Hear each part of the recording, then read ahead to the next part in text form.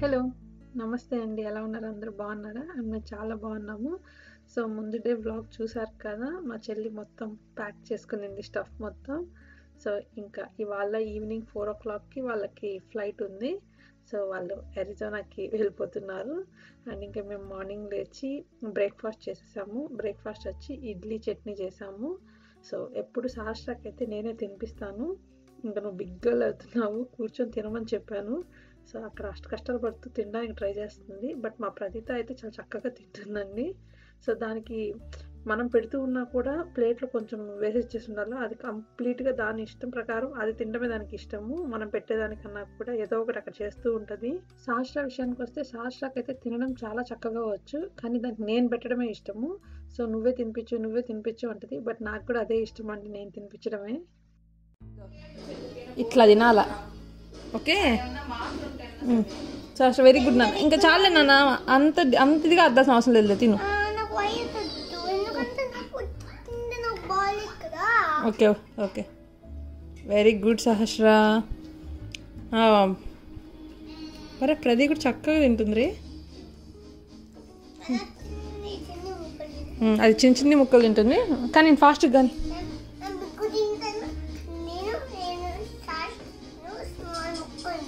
సరే కానీ రే. చూసారు కదా ప్రదీని అలా మాట అనకూడదు ఇమీడియట్గా అలా అనేస్తుంది అనమాట సో సాష్ట అనింది ప్రదీత చిన్న ముక్కలు తింటుంది నేను పెద్ద తింటానని.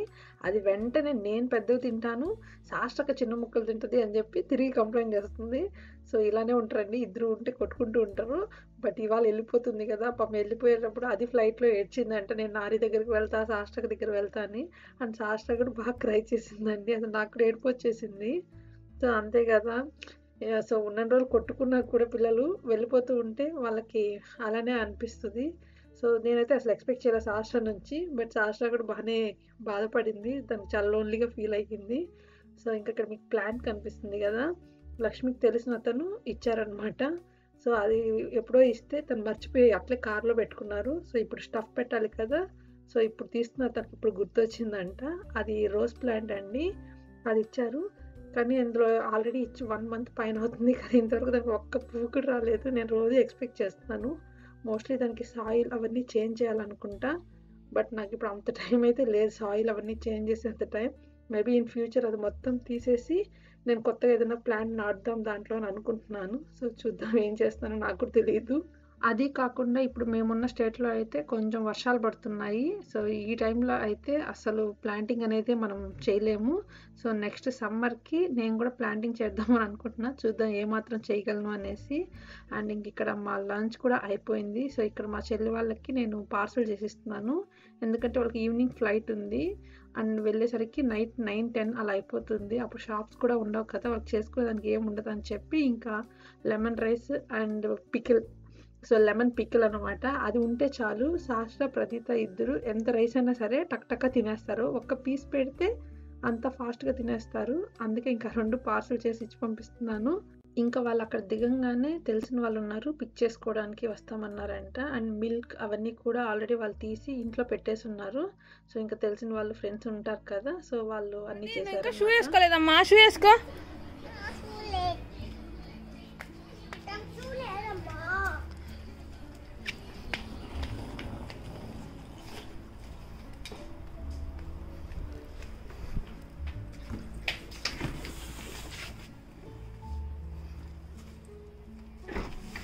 సార్ ఇప్పుడే కాదు పదా.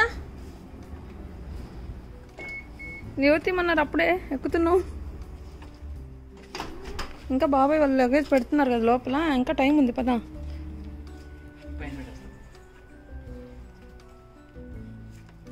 వెయిట్ వెయిట్ అది బరువు ఉంటుంది. ఇంకా అక్కడ సతీష్ చేతిలో కనిపిస్తుంది కదా ప్రామ్. ఆ ప్రామ్ వచ్చి ప్రదీత అది అది ఇక్కడే పెట్టేసి వెళ్ళిపోతున్నారు. ఎందుకంటే ఇంకా నాకు బేబీ వస్తుంది కదా సో ప్రదీతకి అయితే ఆ ప్రామ్ ఇంకా అవసరం లేదంట. ఎందుకంటే అంబ్రెల్లా ప్రామ్ ఉంది. సో ఇంకా నాకు వచ్చే బేబీకి దాన్ని యూజ్ చేసుకోవచ్చు అని చెప్పి ఇంక ఇక్కడే పెట్టేస్తున్నారు. సో ఇంతే అండి సిబ్లింగ్స్ అంతా ఉంటే వాళ్ళ స్టఫ్ మనం యూజ్ చేసుకోవచ్చు. అందులోనూ పాపే కాబట్టి ఆ ప్రామ్ కూడా కరెక్ట్గా సెట్ అయిపోతుంది. సో ఇంక ఇక్కడైతే నేను ఆల్రెడీ ప్యాక్ చేసి పెట్టాను కదా ఇంకా అవన్నీ మా చెల్లెలు లగేజ్లో పెట్టేసుకుంటుంది హ్యాండ్ లగేజ్లో సో అంతా రెడీ అయిపోయింది అనమాట ఫైనల్గా ఎయిర్పోర్ట్కి స్టార్ట్ అయిపోయాము.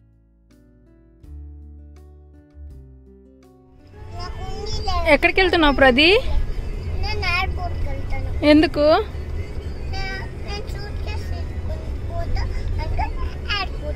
ప్రది హోమ్కి వెళ్ళిపోతున్నావా?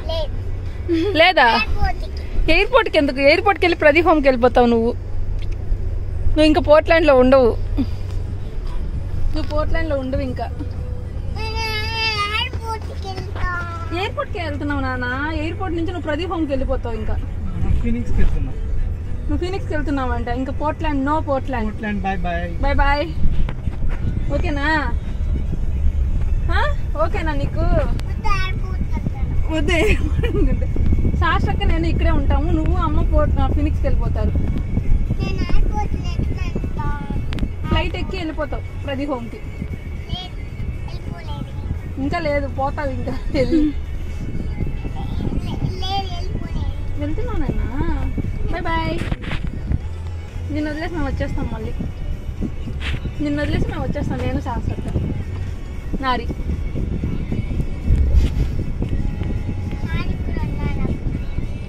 పాపం ప్రదీత ఏమనుకుంటుందంటే మేమందరం వెళ్తున్నాం కదా అదొక్కటే వెళ్ళిపోతుంది అని అనుకోవట్లేదు ఫినిక్స్కి. మేము జస్ట్ ఎయిర్పోర్ట్కి వెళ్తున్నాము అని మాత్రమే అనుకుంటుంది. సో నేనైతే చెప్తున్నాను నువ్వు నీ హోమ్కి వెళ్ళిపోతున్నావు ప్రది అంటే నో నో అంటుంది. అండ్ ఇంకోటి ఏంటి అంటే ప్రదీతతో గొడవ పెట్టుకోవడం అంటే నాకు చాలా ఇష్టం అండి దాంతో మంచిగా మాట్లాడేదానికన్నా గొడవ పెట్టుకుంటే మనకు చాలా మాటలు వస్తాయి దాని దగ్గర నుంచి. నాకు ఎందుకు అలా అనిపిస్తుందో తెలియదు అండ్ ఈవెన్ మనం మంచిగా చెప్తే అయితే చక్కగా ఉంటుంది. మనం కూడా ఏదైనా కోపంగా చెప్పాము ఆర్ వేరే విధంగా చెప్పాము అనుకో అది కూడా అసలు మాట వినదు. కాబట్టి దాంతో మంచిగానే మాట్లాడాలి. కాకపోతే అప్పుడప్పుడు దాంతో కొంచెం కొంచెం గొడవ పెట్టుకుంటూ ఉంటే నాకు చాలా ఫన్ అనిపిస్తుంది. సో ఇంకా ఫైనల్లీ ఎయిర్పోర్ట్కి అయితే రీచ్ అయిపోయాము. సో కార్ మొత్తం దాంతో అదే మాట్లాడుకుంటూ వస్తున్నాము.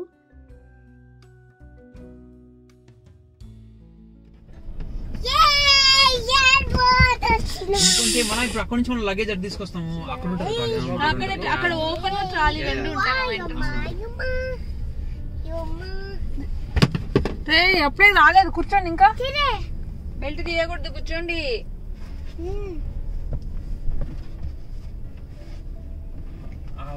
నాకు అసలు ఆ థాట్ రాదు అట్లా వెళ్తున్నామన్నా ఇక్కడ అనుకున్నా. ఇప్పుడు మనం రూట్ చూసుకోవాలి అయితే. అది ఎట్లా అది?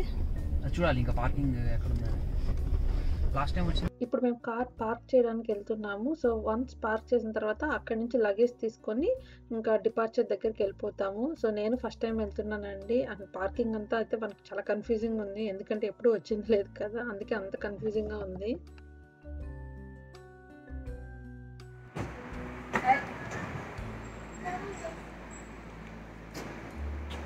అక్కడ ఉన్నాయి కార్డ్స్ అక్కడ ఉన్నాయి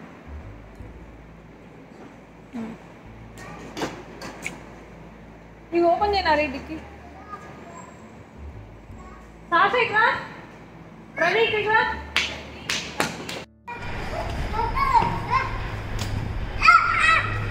ప్రదీ.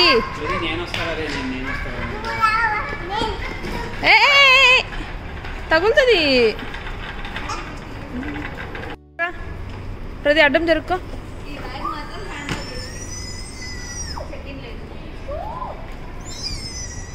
నేను అదే లక్ష్మితో అంటున్నా అక్కడ. సో వాళ్ళు వెళ్తున్నట్టు లేదు మనం వెళ్తున్నట్టున్నాము స్టైల్గా మనం ఒక బ్యాగ్ తగిలించుకొని ఏదో ఎయిర్పోర్ట్కి వచ్చినట్టు ఉంది అనేసి. సో ఫైనల్గా అయితే మా చెల్లి వాళ్ళు అరిజనాకి వెళ్తున్నారు. బట్ మళ్ళీ మా చెల్లి జనవరి ఫస్ట్ వీక్లో అయితే వస్తుంది తను ఇక్కడికి. తనైతే మేము ఆల్రెడీ ఇక్కడే ఉండమని చెప్పాము. కానీ ఇంక అక్కడ హౌస్ లీజ్ అంతా అయిపోతూ ఉంది. సో హౌస్ రెన్యువల్ చేయించాలి ఆర్ వేరే హౌస్ షిఫ్ట్ చేయాలి అనే వాళ్ళకి ప్లాన్ ఉంది. సో ఫైనల్గా అయితే వాళ్ళు కూడా హౌస్ షిఫ్ట్ అయ్యారండి. సో ఇంకా పనులన్నీ ఉన్నాయి కదా. అందుకే ఇంకా వెళ్ళి మళ్ళీ తను జనవరి ఫస్ట్ వీక్లో అలా వస్తుంది. మరి? ఆర్ట్ భలే ఉంది కదా? చాలా బాగా వేశారు. ఓ చాలా బాగుంది. అక్కడ ఆర్ట్ కనిపిస్తుంది. అది చాలా బాగుంది కదా? చాలా బాగా వేశారు. నాకు కూడా చాలా ఇష్టం అండి. అలా డ్రాయింగ్స్ వేయడం కానీ పెయింటింగ్స్ వేయడం కానీ ఎప్పుడన్నా ఫ్రీ టైం ఉండేటప్పుడు ముందులో వేసేదాన్ని కానీ ఇప్పుడు ఏం వేయట్లేదు. అంత ఇంట్రెస్టింగ్ కూడా రావట్లేదు. సో నాకైతే మాత్రం చాలా ఇష్టం. ఎనీవే మేమైతే ఇక్కడ లగేజ్ చెక్ ఇన్ చేయడానికి వచ్చేసాము. చూడు పెద్దమని నువ్వు వెళ్ళిపోతున్నావా ఫినిక్స్కి? లేదా నువ్వు ప్రతి హోమ్కి వెళ్ళిపోతున్నావురా? అవును నేను సాష్టక్క రావట్లేదు. ఇక్కడ చూడు నన్ను. ఇక్కడ చూడు. నేను సాష్టక్క రావట్లేదు. నువ్వు ఒక్కటే వెళ్ళిపోతున్నావు. వెళ్తావా? వద్దా? నువ్వు ఎక్కడ ఉంటావు? ఫినిక్స్లో ఉంటావు? పోర్ట్లాండ్లో ఉంటావా? నిన్నే. ఇక్కడ ఎయిర్పోర్ట్లో ఉంటావా? సరే బాయ్ బాయ్ ప్రదీప్. మేము వెళ్తున్నాం. పెద్దమ్మ సాష్టకి వెళ్ళిపోతుంది. ఓకే? ఓకేనా? చెప్పు సార్ ప్రదీ చెప్పు. ఓకేనా? బాయ్ బాయ్ వద్దు కాదు. బాయ్ నేను సాక్షకి వెళ్తున్నాము. నువ్వు పో నువ్వు ఫినిక్స్కి వెళ్తున్నావు ప్రదీ హోమ్కి. ఓకే. మేము సాక్షక్ హోమ్కి వెళ్ళిపోతున్నా నేను. Bye bye bye. బాయ్ వద్దు. బాయ్ వద్దు కాదు వెళ్ళాలి. నేనైతే ఇలా మా ప్రదీతో ఆర్గ్యూ చేస్తూ ఉంటానండి. అది నేను ఆర్గ్యూ చేసేసరికి ఇంకా ఎక్కువ మాట్లాడుతుంది ఇంకా కోపం కోపంగా మాట్లాడుతుంటుంది. ఆ కోపంలో మాట్లాడేటప్పుడు నాకు ఎందుకు చాలా ముద్దుగా అనిపిస్తూ ఉంటుంది. సో అందుకే దాంతో అట్లా మాట్లాడుతూ ఉంటాను. సో ఇంక ఇక్కడైతే వీళ్ళు బోర్డింగ్ పాస్ తీసుకుంటారు కదా సో ఆ పని చేస్తున్నారు. సో వన్స్ అది అయిపోయాక ఇంకా వీళ్ళైతే వెళ్ళిపోతారు. సో మళ్ళీ జనవరి వరకు కనిపించరు అనమాట సో నా డ్యూ డేట్ అయితే జనవరి టెన్త్ సో ఆ లోపలే మా చెల్లెలు అండ్ ప్రదీత అయితే వద్దాం అనుకుంటున్నారు స్టార్టింగ్ సో తర్వాత సతీష్ వద్దాం అనుకుంటున్నారు. సో ఇంకా అయితే కరెక్ట్గా ఫిక్స్ అవ్వలేదు డేట్ మాత్రం. ఎప్పుడు వాళ్ళు వద్దాం అనుకునేది. సో వన్స్ అయ్యాక కూడా మీకు వీడియోస్లో చూపిస్తూ ఉంటాను వాళ్ళు వచ్చేది.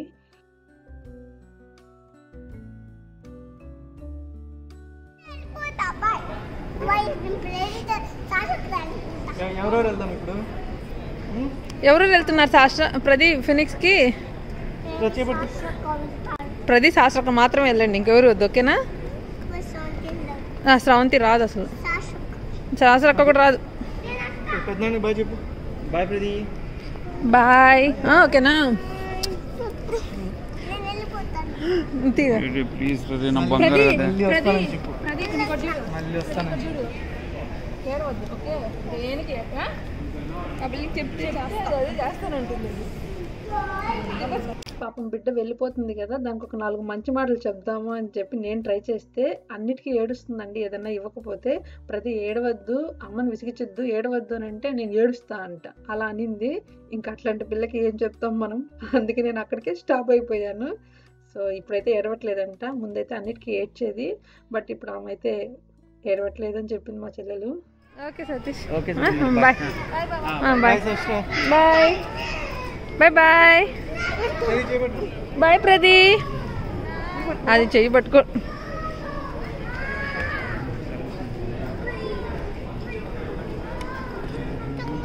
Bye bye. ఇంకా వాళ్ళ సెక్యూరిటీ చెక్ వెళ్ళిపోతున్నారు. సో వాళ్ళ సెక్యూరిటీ చెక్ అయిపోయింది అండ్ గేట్ దగ్గర కూడా వెళ్ళిపోయారని మాకు ఫోన్ చేశారు. సో ఇంకా అక్కడి నుంచి మేము స్టార్ట్ అయిపోయామండి. ఇంకా తిరిగి ఇంటికి వెళ్ళిపోతున్నాము.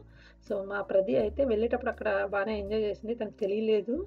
సో వన్స్ ఫ్లైట్ ఎక్కాక ఏడవడం స్టార్ట్ చేసిందంట. మా చెల్లి వాట్సాప్ వీడియోస్ కొన్ని పంపించింది. అది ఏడుస్తూ ఉండే. అండ్ మాకు కూడా అప్పటి వరకు ఏం తెలియలేదు. తిరిగి రిటర్న్ అయ్యి కార్ ఎక్కాక ఒకలా అనిపించేసింది. సాస్ట్ర అయితే బ్యాక్ సీట్లో కూర్చొనింది. ఇంకా అమ్మాయి అంతటా ఆ అమ్మాయి ఏడవడం స్టార్ట్ చేసింది. అసలు మాకు తెలియట్లేదు అది ఏడుస్తుందని కూడా. కొంచెం తర్వాత అనిపించింది. వెనక్కి తిరిగి చూస్తే ఓన్ ఏడుస్తుంది. ఎందుకు శాస్త్ర ఏడుస్తున్నామంటే ఇంకా ఇది ఏం చెప్పట్లేదు. ఒకటే ఏడ్చుకుంటూ ఉంది. సో ప్రదీత కూర్చుంటుంది కదా ఇన్ని రోజులు తన దగ్గర. చక్కగా ఉన్నింది. సో ఇప్పుడు అది లేకపోయేసరికి దానికి బాగా అర్థమైంది. నేనైతే అంత ఎక్స్పెక్ట్ చేయలేదు. శాస్త్ర అలా ఏడుస్తుంది అనేసి. బట్ బాగానే మిస్ అయిందని అయితే నాకు అర్థమైంది. నాకు కూడా కంట్లో నీళ్ళు వచ్చేసాయి. మా చెల్లి మళ్ళీ వస్తుందని తెలుసు. బట్ సాస్ట్రా ఏడ్చేసరికి నాకు కూడా ఇంకా కంట్లో నీళ్ళు ఆపుకోలేకపోయాను నేను కూడా. సో బాగా మిస్ అయ్యామండి. అంటే ఎవరైనా వచ్చి వెళ్ళిపోతే ఇంటికి వెళ్ళాక ఆ రూమ్ చూసినా వాళ్ళు కూర్చునే ప్లేస్ చూసినా మనకు అలానే అనిపిస్తుంది కదా. సో ఇక్కడ ఇన్ని రోజులు వాళ్ళు ఉన్నారు ఇప్పుడు లేరు అన్న ఫీలింగ్ అయితే మనకు బాగా అర్థమవుతుంది.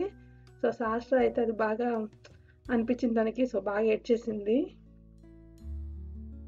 శాస్త్ర ఎందుకు నన్ను ఏడుస్తున్నావా?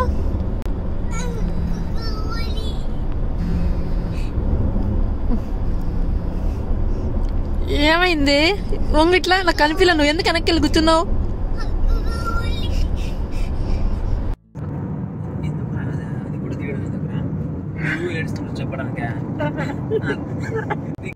బాధపడుతూ ఉంటే లక్ష్మి పక్కకి చేరి ఎందుకురా ఏడ్చేది కూడా వీడియోస్ తీస్తూ ఉన్నావు మేము ఇలా ఏడ్చినాము అనే వీడియోలో చెప్పుకోవడానిక? అనేసి. సో ఇంకా నాకు అప్పుడు భయంకరంగా నవ్వు వచ్చేసింది. సో ఫీలింగ్స్ ఎమోషన్స్ అనేవి మనం ఆపుకోలేము కదండి కంట్రోల్ చేసుకోలేము. బట్ వీడియో తీసి పోస్ట్ చేసి అందరికీ చూపించాల్సిన అవసరం లేదు. బట్ ఇన్ ఫ్యూచర్లో ఇప్పుడు చూసుకుంటే సహస్రకు కూడా అర్థమవుతుంది కదా ఇలా వచ్చారు వెళ్ళారు అని. జస్ట్ ఏదో ఒక మెమరీ కోసం అంతే. ఏదో మేము ఏడ్ చేసాము మాకే ఆ ఫీలింగ్ ఉందని అందరికీ చూపించాలని కాదు. జస్ట్ ఊరికే అలా క్యాప్చర్ చేశాను అంతే. వాళ్ళని ఉన్నన్ని రోజులు కొట్టుకున్నారు వెళ్ళిపోయాక ఏడుస్తున్నావా నువ్వు? చేద్దా. లైట్ అయ్యమ్ము ఇల్లంతా చూడు ఎలా ఉందో. లైట్.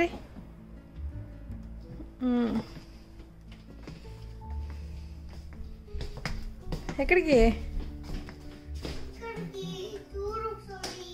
ఏమైంది?